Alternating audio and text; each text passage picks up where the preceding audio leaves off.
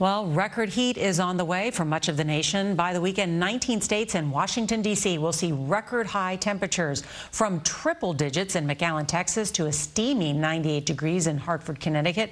More than 100 cities are expected to face dangerous heat.